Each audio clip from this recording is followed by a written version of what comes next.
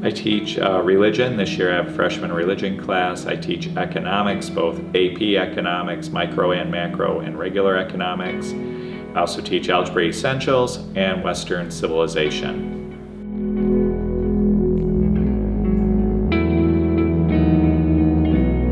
I'm also the advisor for the West Catholic Students for Life Club, and I'm the coach of the school quiz bowl team. I enjoy teaching at West Catholic because of the community of students and fellow teachers and parents uh, that are all uh, believing and, and working together in the mission of our school.